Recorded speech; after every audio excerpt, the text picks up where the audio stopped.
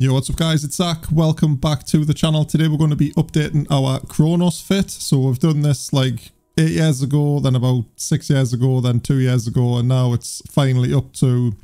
This is like pimping it out to the max, yeah guys. So we have actually from last year added a 1000 DPS. Like, can you believe that? It's absolutely nuts. Uh, but before we get started, I just want to give a shout out to CCP for giving us partners access to the test server before Viridian released. Obviously, it's been on VIP mode, so we got a chance to dive in and test out all the things. So there is a couple of changes to the Kronos, like I say. And uh, yeah, let's dive into it. So we'll just open the fit real quick here. So a couple of years ago, the fit was like 5,300 DPS or something. So it's not too bad. Not a lot's changed and we'll get back to this empty mid slot in two seconds. So if we sim it up and then see what the max potential damage is now.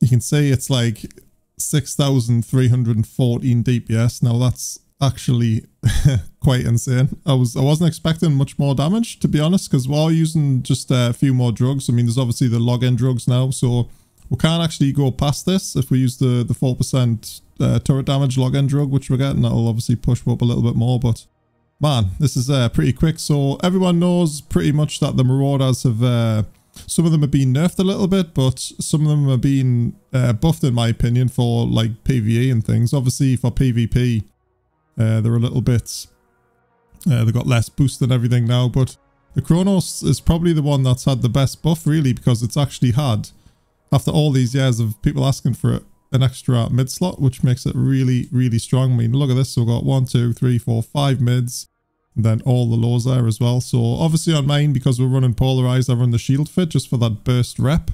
Just to keep her alive a little bit. I don't really like relying on um, like slow armor reps to, to balance out the damage that's coming with the instant rep as soon as we hit it. So pretty much the same as last uh, time, I think. In fact, that's actually got the web on. So that's how I would run mine with the web. Now, I have got some options this time, which I'll just show you here. So I was thinking the cap's pretty bad on it, really. Um, let's just unactivate these because generally we won't be using them a lot. So we'll go for like 10 minutes, which isn't too bad. I think that's like actually like plenty. But if you wanted a bit more cap, you know, you just plug one of those in and then we're like 25 minutes. So that's basically stable. If you wanted some more boost, then you just drag that in. And now we're sitting at 3,532 hit points every four seconds, which is rather nice. And without 2,543. So that is actually a that's probably the bet, the safest bet. Obviously having the more tank.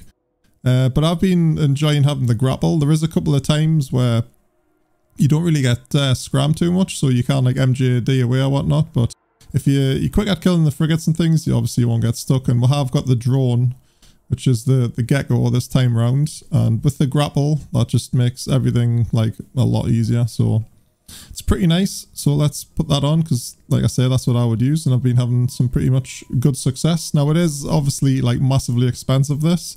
And the whole point of um, just showing this really, I mean, I'm not really going to use it on TQ. Uh, I might use it once or twice just for like maybe a future video and then we'll put it away again for the, the next time the Marauders get changed. But it's just to really show you guys like the potential that you can do. It's and of course, because it's like blasters, it's a lot of it is paper DPS, but I'll show you in a couple of clips where we're like MJDing on top of battleship gangs and uh, just like like one two shotting them.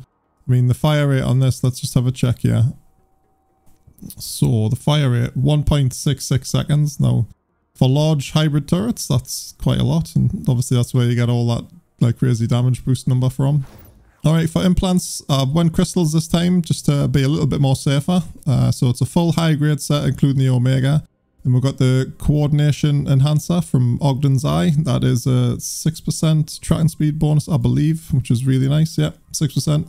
So everything pretty much works well with the web as well. And we've got the surgical strike 906, so that's 6% damage. And large hybrid turret, 6% damage there. So that's a, a double bonus from tracking.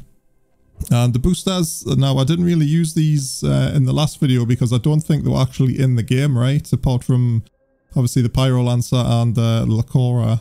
So the other ones weren't because I'm pretty sure these are new. But we'll, we'll run down what these actually do, guys, just uh, really quickly. So more tracking speed on that one, 8%. Now that's uh, pretty good. I use that quite a lot on uh, things like the Wolf and stuff as well. So that's these are pretty nice. It can be fairly expensive on TQ though, but the Drifter drugs are, are pretty good. There's quite a few of them to be having a look at. And the Pyrolancea, this just gives you like ultimate damage. So 9% extra damage there to everything.